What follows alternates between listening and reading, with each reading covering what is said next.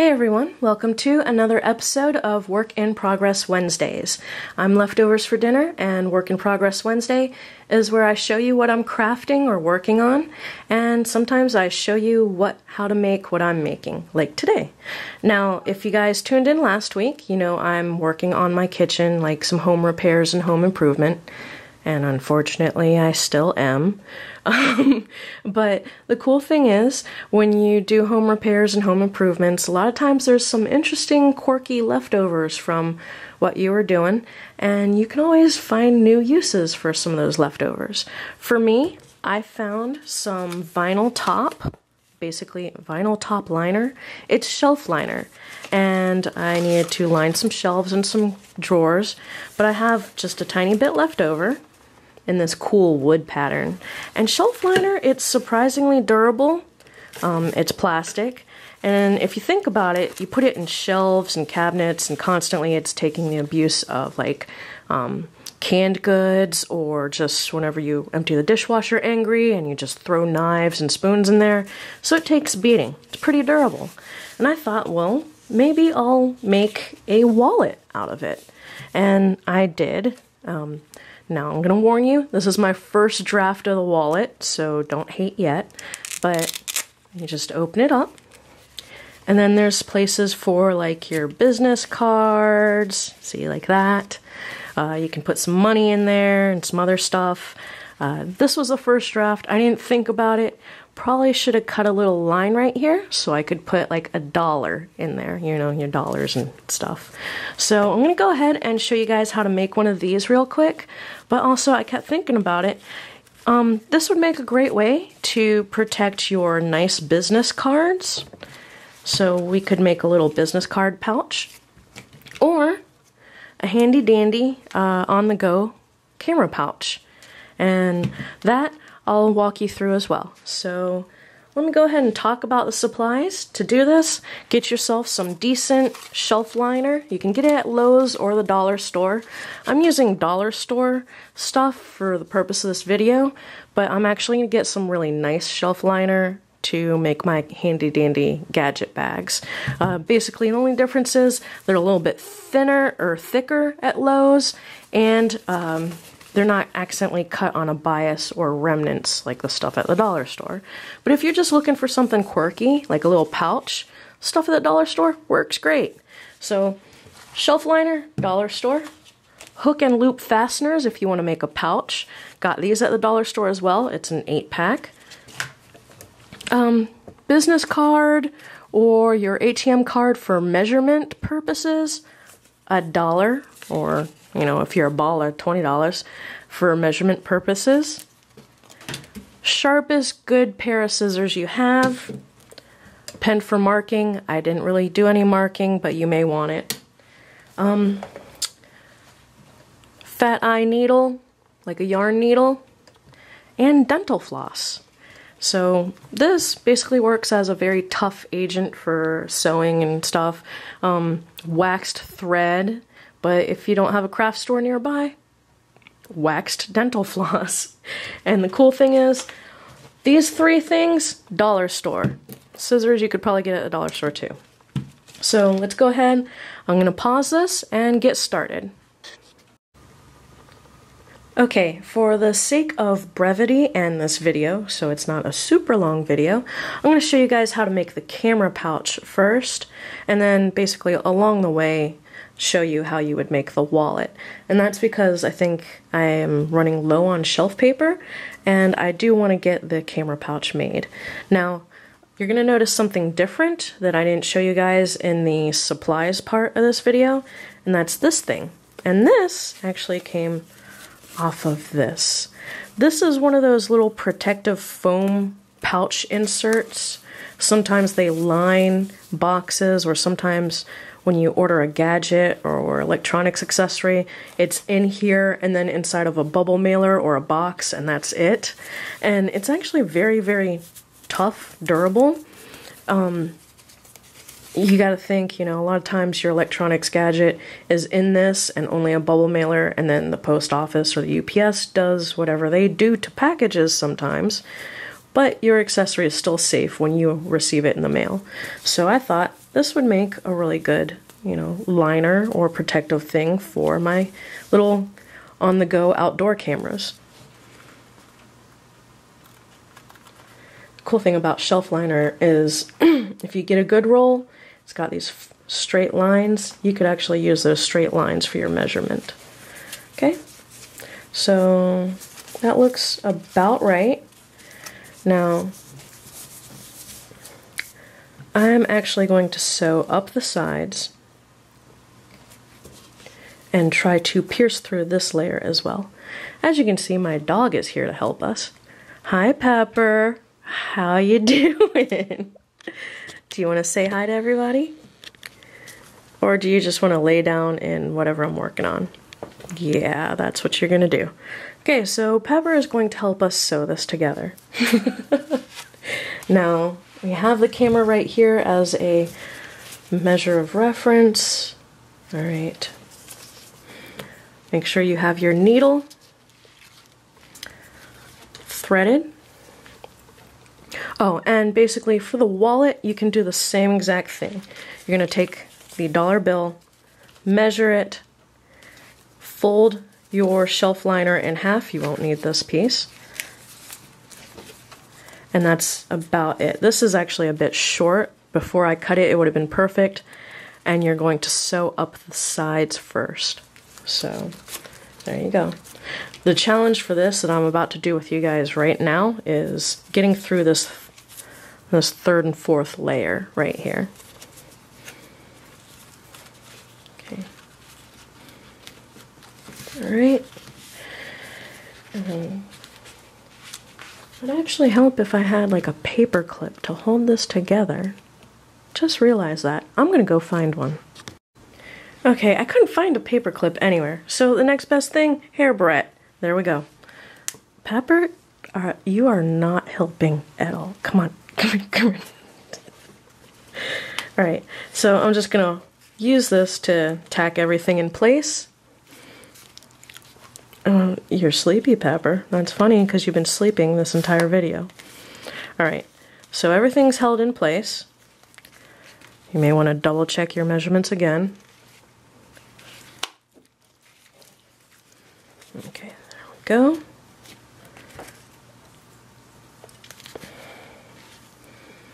Dog, you are so unhelpful. Oops. All right, so we have everything held in place. We have our, oops, yarn needle, fat eye needle with the wax thread wrapped around our dog's foot. There we go. And what we're going to do, Pepper, is open up this side. We're going to find that right there and poke a hole through. Okay? Okay, so we are sticking through this underside layer right here. And if we open it up, looks like that. So we are poking in right here at the farthest edge inside there. Did you see that? Okay. So we're going to poke through. And basically what that does is it puts this inside here so nobody sees it. So there you go. Now, I started to sew and decided to backtrack it a little bit. Going to show you guys how to do the mattress stitch. I'm never very good at the beginning of mattress stitch. It's a blanket stitch, mattress stitch. It's a technique used by um, crocheters and knitters. I'm never good with the first stitch, but we're going to go ahead and try. Basically, you poke through all the layers, and then you wrap the thread around here. I'll show you guys again. Wrap the thread around. Make sure it stays up here and then pull through. I actually am working with one arm around the camera and another arm around the light It's a little bit of a dark day today, so I'm trying to give you guys as much light as possible to see what I'm doing. Now I just pull through. Okay, and now you pretty much have, oops, see, one of these threads is a little loose. Basically a decorative line right there. Okay, and you just keep doing that up the side of this project. So poke through, wrap around, pull through all the way. Make sure, no matter what, you are going through all the layers of, oops, of the shelf liner and the protective stuff that we added to this. Okay? And make sure your stitch stays on top. That's the point of the mattress or blanket stitch. It's a decorative edge, kind of similar to like leather work, like from the 60s and 70s. That was cool. That little rustic edge on moccasin boots and stuff. And there we go. Just keep pulling. Don't pull too hard, otherwise you are going to bunch up your shelf liner and it's going to look kind of crappy. Okay. And if it starts to fall down, hold it in place. So punch through, wrap around. Actually, I'm to get this camera out of the way because it's dark. Oops. and you guys can see better, okay? Pull through. Okay, sometimes one thread will go faster than the other. Just gently pull until you get there and then pull tight. Well, not too tight. Make sure your stitches are pretty much the same length. Like don't go too far down, don't go too far up because you don't want it to be too far deep into the material that you can't stick your camera or your gadget in. So Oops. As you can see there, I forgot to wrap it around the needle after I poked through. So I just wrapped it through the thread. Okay. And now I'm pulling tight. Okay. Now, if you're making your wallet, which is basically the same thing, measuring it to match a dollar or a business card, um, what I recommend is cutting a piece of cardboard the same size as a dollar, or while you're sewing, always have either that really thick business card or one of your ATM cards in there so that you don't go too far. As you can see, one of these stitches is a little deep, but I'm not too worried about that. And that prevents you from making this too tight or too small. I'm pretty close to finishing up sewing and realized when I got to the corner, you guys might, you know, need this useful tip. With the blanket stitch or mattress stitch, when you hit the corner, you know, right there, to get to the other side, go through that same hole. I'm not sure if you guys can see that. Go through the same hole. Wrap the thread around, but make sure it's not around the corner. Do you see that? So wrap the thread around, but make sure you push the corner behind the thread. It's kind of tricky. Oops. And then hold your finger in place the entire time you're pulling the thread through. Okay? Now, if you have any trouble with blanket stitch, you can skip it and just do like normal sewing. Or, you know, go on YouTube and try to find some tutorials. Okay, so I am on my last stitch, which is really good because I'm on my last like two inches of thread and I need to finish the project. So, I'm to poke through one last time with the mattress stitch. And right before, see that's how low I am on thread. I'm to go through, pull through, go like that, and now I can make a tiny knot by going through the thread, oops, like that. I've pretty much made a little knot.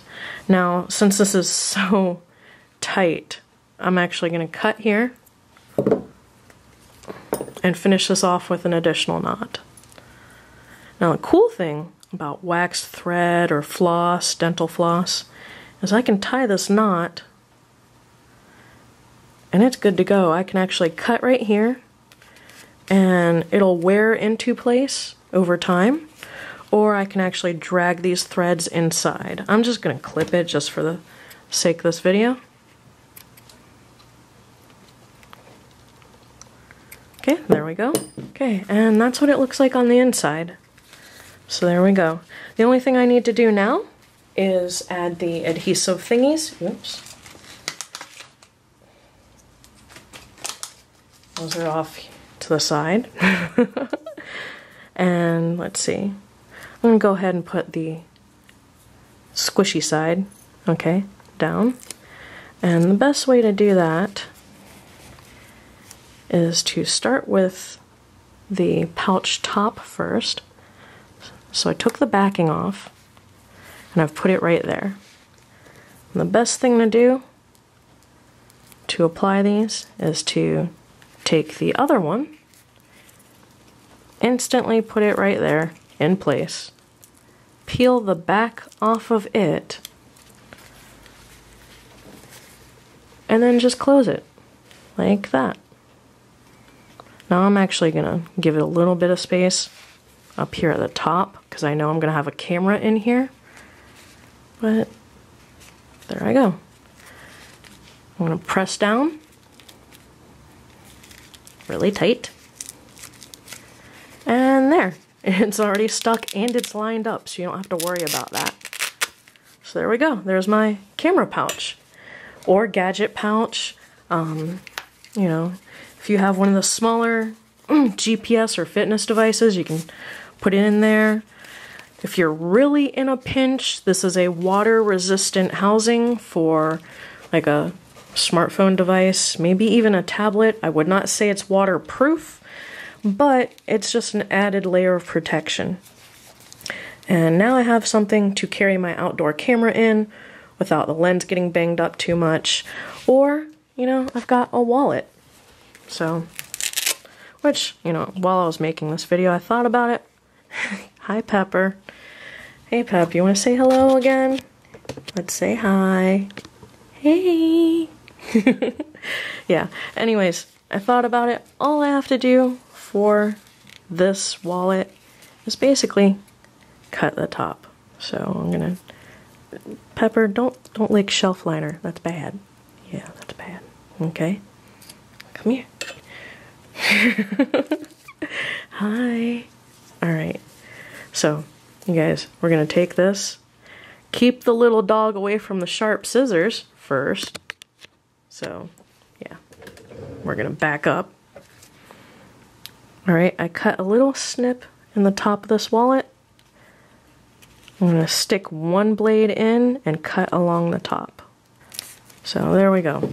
Pretty much stick your money up in the top, stick all your important cards, shelf liner wallet with cute wood trim look and gadget bag tons of uses for either of these. I was pretty amazed.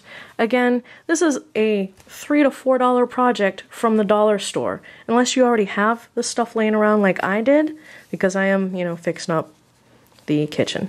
So I hope you liked this video. I know it was a little long. Thanks for watching, and feel free to comment with your ideas for shelf liner and other stuff. Hey Pepper, say bye. Bye.